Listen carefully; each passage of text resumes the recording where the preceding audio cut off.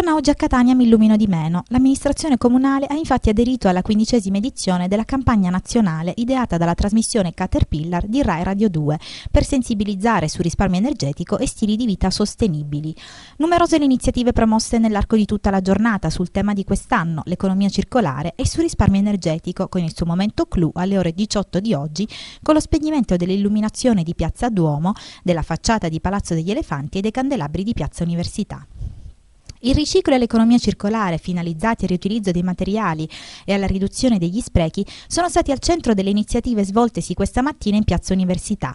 Mostre e laboratori tenuti dai docenti del liceo artistico Emilio Greco, attività didattico-espositive proposte dal minibus elettrico dell'AMT, letture e scambio di libri a bordo dell'autobook Libri in Circolo dell'assessorata alla cultura e ancora iniziative promozionali e didattico-educative curate da varie associazioni.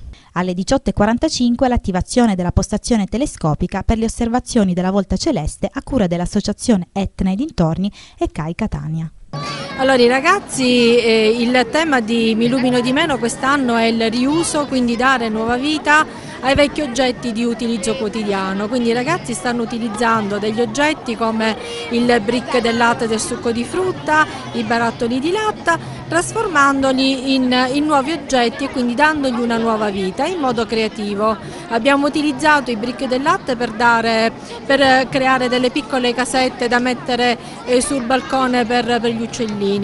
E invece i barattoli di latta stiamo facendo eh, dei portapenne o comunque dei, mh, mm, degli oggetti appunto che possano essere riutilizzati nuovamente.